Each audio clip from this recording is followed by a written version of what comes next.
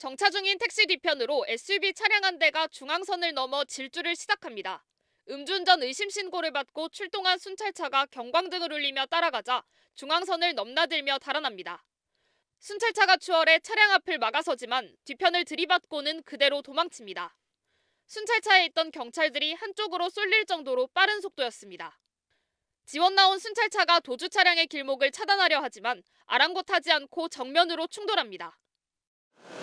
운전자는 홍대 입구역 사거리에서부터 경찰을 피해 2km가량을 도주하다 이곳 신촌 연세대 앞쪽 도로에서 붙잡혔습니다. 경찰차 두 대와 택시를 들이받고 현행범으로 체포된 운전자는 30대 남성으로 혈중 알코올 농도는 면허 취소 수치였습니다.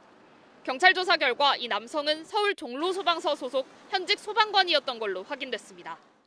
이 남성은 지난 8일에도 음주운전을 하다가 경찰에 적발돼 직위 해제됐는데 사흘 만에 다시 만취 상태로 운전대를 잡은 겁니다.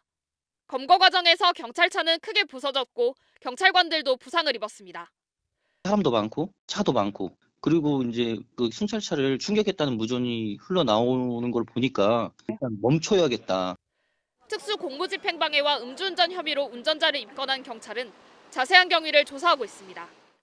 소방당국도 남성에 대한 감찰에 착수했습니다. MBC 뉴스 재은유입니다.